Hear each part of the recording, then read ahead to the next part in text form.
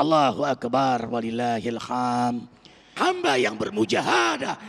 Dalam ihyai sunnah Nabi Muhammad Sallallahu Alaihi Wasallam setiap ibadah, setiap amal, setiap perbaikan akhlak sulamun ilallah tangga mendekatkan diri kepada Allah. Tahajud mendekatkan diri pada Allah. Detik-detik tahajud yang ia nikmati di tengah malam itu terus mendekat kepada Allah. Setiap huruf Al-Quran yang dia baca, tangga mendekat kepada Allah. Setiap langkah dia ke masjid. Bashiril masyain nafidullah minal masajid binuri tami yaumal qiyamah. Hadis sahih Muslim.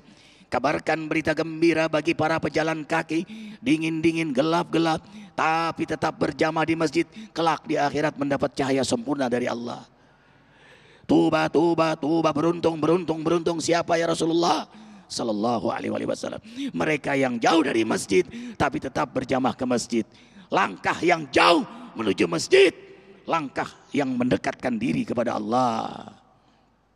Setiap kita menjaga wudhu, setiap gerak wudhu dari mencuci muka, tangan, kepala. Subhanallah, sulamun ilallah. Setiap lafaz zikir. Subhanallah, subhanallah, subhanallah, subhanallah. Sulamun ilallah. Setiap sedekah, rupiah demi rupiah. Sulamun ilallah. Setiap perkataan baik, apalagi dakwah. Sulamun ilallah. Subhanallah dekat, mendekat kepada Allah. Allah punya sifat dominan, Ar-Rahman, Ar-Rahim. Maka hamba yang dekat dengan Allah, Allah percikan sifat rahmatnya. Makin dekat, makin besar rahmat Allah berikan pada dirinya. Subhanallah, inilah menjadi jawaban kunci surga. Kunci surga itu pintunya terbesar. Ar-Ruhama. Yang dimasuki oleh orang-orang yang pengasih, penyayang. Orang-orang dermawan. Orang-orang yang murah senyum. Orang-orang yang rendah hati. Al-Qadban. Orang yang gampang marah. Pendengki. Pendendam. Pemutus silaturahim. Tempatnya bukan di surga Al-Ghadaban Finnar. Ketika ditanya ya Rasulullah, sampaikan secara singkat pintu surga. Apa?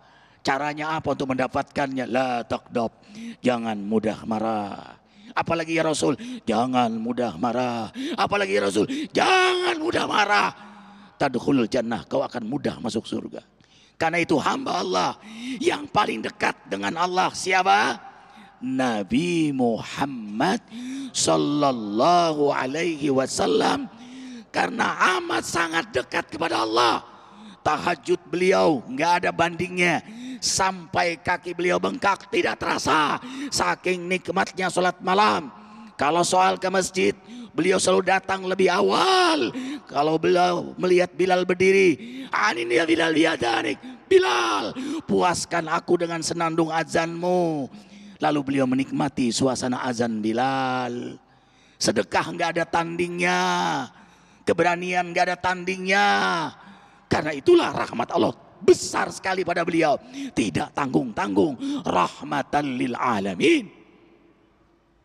Maka, maka seorang hamba yang mendekat pada Allah, hamba itu punya sifat rahmat yang sangat besar.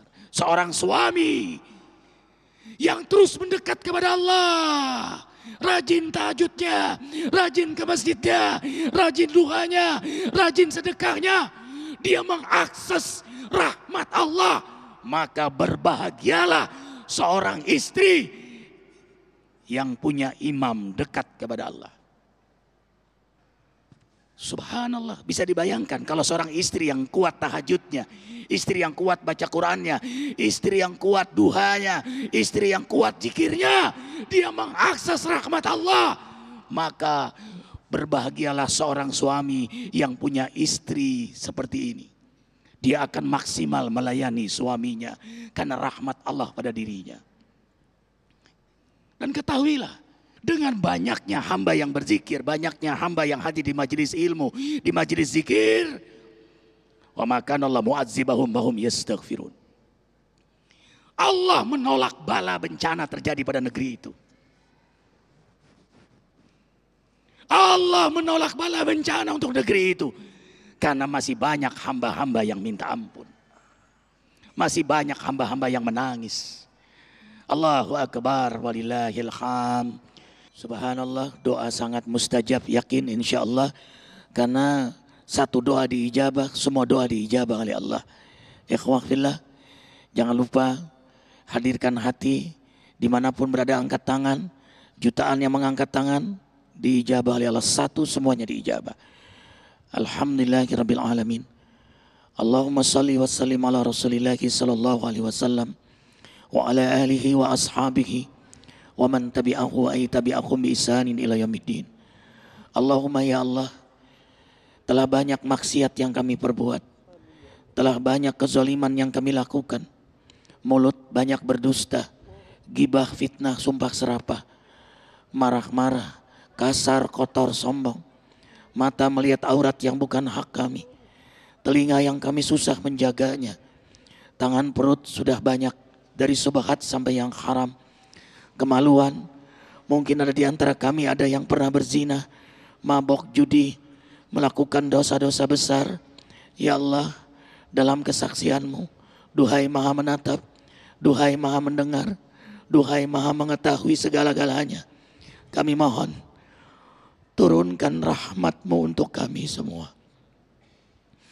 Rahmati kami semua dengan ampunanmu.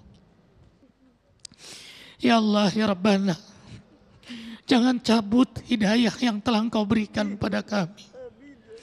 Allahumma faqihna fid din. Alimna al-hikmat al-Quran. Wa sunnata Nabi Muhammad wasallam. Wa haqiqna bit taqwa wal istiqamah. Ya Allah pahamkan kami agamamu yang mulia. Ajarkan kami hikmah Al-Quran dan sunnah Nabi Muhammad SAW.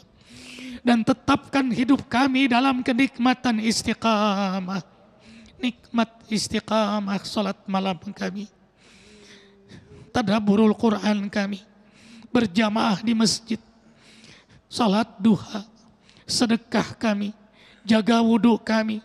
Zikir kami senang berkumpul dengan hamba-hambamu yang saleh. Ya Allah bahagiakan kami dunia akhirat. Rabbana atina fid dunya hasanah wa fil akhirati hasanah wa qina adzaban nar. Subhana rabbika rabbil izzati amma yasifun. Wassalamun alal mursalin walhamdulillahi rabbil alamin.